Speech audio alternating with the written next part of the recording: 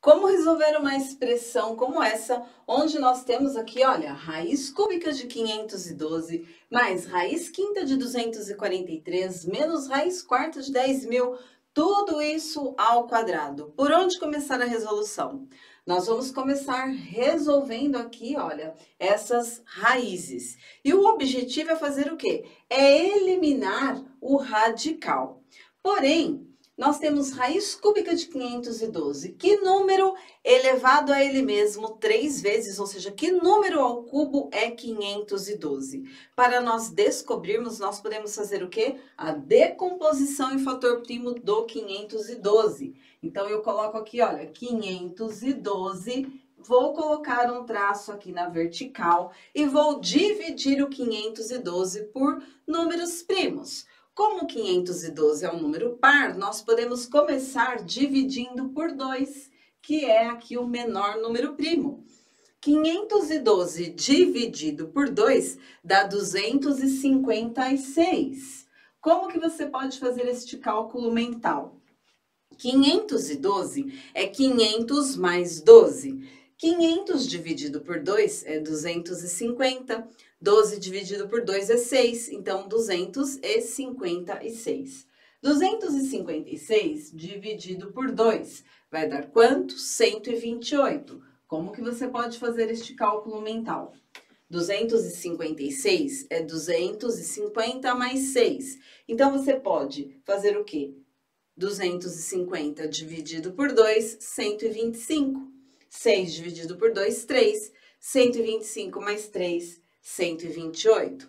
Agora, 128 dividido por 2, que vai dar quanto? 64. Pode usar a mesma estratégia. 128 é 120 mais 8. 120 dividido por 2 é 60. 8 dividido por 2 é 4. 60 mais 4, 64.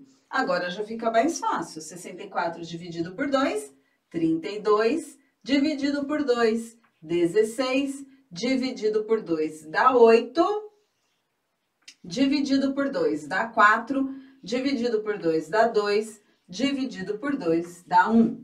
Então, nós temos aqui que 512 vai ser 2 vezes 2 vezes 2 vezes 2 vezes 2 vezes 2 vezes 2 vezes 2 vezes 2, ou seja, 2 elevado à nona potência. Porém, uma dica, como aqui nós temos raiz cúbica, o índice aqui da nossa raiz é o 3. Então, o que, que nós podemos fazer? Agrupar aqui estes fatores de 3 em 3. Por quê? Porque assim vai facilitar a nossa simplificação. Então, aqui no lugar da raiz cúbica de 512, o que, que nós vamos fazer?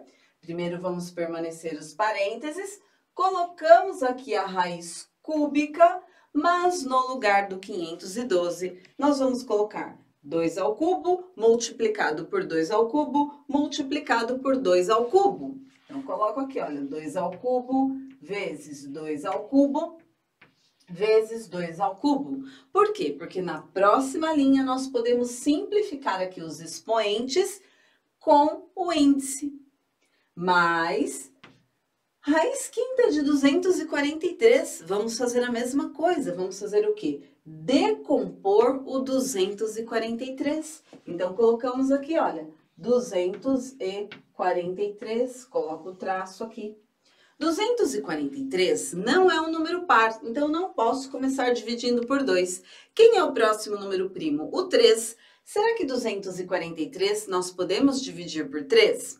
Para isso, nós podemos usar o que aqui? Nós podemos usar a regra da divisibilidade por 3, que diz o seguinte, que se a soma desses números for um número divisível por 3, esse número também será divisível por 3. Então, vamos lá. 2 mais 4, 6. 6 mais 3, 9. 9 é divisível por 3. Isso significa que 243 também será divisível por 3. Aqui, o que, que nós podemos fazer? Decompor também, olha, 243 é a mesma coisa de 240 mais 3. 240 dividido por 3 dá 80 e 3 dividido por 3 dá 1. Então, 243 dividido por 3 é 81. Eu estou explicando aqui como fazer o cálculo mental. Porém, se tem dúvida, faz um cantinho lá no seu caderno, faz um rascunho, resolve a divisão e coloca o resultado aqui. 81 dividido por 3. A mesma coisa, ó, 8 mais 1 é 9. 9 é o número divisível por 3, então 81 é divisível por 3. 81 dividido por 3 dá 27. Agora fica mais fácil. 27 dividido por 3 dá 9. 9 dividido por 3 dá 3, dividido por 3 dá 1. Então, 243 vai ser 3 vezes 3 vezes 3 vezes 3 vezes 3, ou seja, 3 elevado à quinta potência, ó. Vou escrever aqui, 3 elevado à quinta potência. Poderia ter escrito aqui também, como eu fiz nesse daqui. Agora, no lugar do 243, quem que eu vou colocar? 3 elevado à quinta potência. Então, eu coloco raiz quinta de 3 elevado à quinta potência. Percebam que na linha de baixo nós vamos simplificar aqui a raiz com esse expoente. E aí já está resolvido, certo? menos raiz quarta de 10 mil. E agora, como que nós podemos escrever este 10 mil? Nós podemos escrever este 10 mil em uma potência de base 10. Como assim? Vamos permanecer aqui a raiz quarta, coloco 10 e conto. Quantos zeros eu tenho aqui? 1, 2, 3, 4. Então, 10 mil é 10 elevado à quarta potência. Olha que legal o expoente ficou igual ao índice da raiz e eu vou poder simplificar. Tudo isso ao quadrado. Agora, nós já podemos simplificar. Permanece aqui o parênteses, porque eu tenho, então, raiz cúbica de 2 ao cubo multiplicado por 2 ao cubo multiplicado por 2 ao cubo. Como aqui os expoentes, eles são iguais ao índice, eu posso simplificar. E aí, eu calculo o que sobrou, porque ao simplificar, este 2 multiplicado por este 2 multiplicado por este 2 cai fora da raiz. Então, nós vamos ter 2 vezes 2, 4, vezes 2, 8. Coloco o 8 ali. Mas, aqui eu também vou simplificar, olha, o expoente e o nosso índice aqui da raiz, né, do radical. E aí, sobrou quem? 3 menos Simplifico aqui o índice do radical com o expoente e sobrou quem? O 10, que caiu fora da raiz. Tudo isso ao quadrado.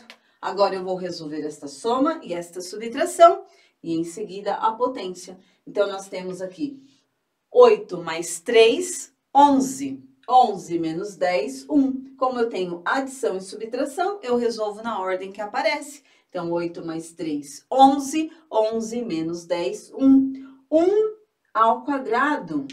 1 ao quadrado é 1 multiplicado por 1, ou seja, 1 multiplicado por ele mesmo duas vezes, que vai ser igual a 1. E esse daqui, então, é o resultado dessa nossa expressão.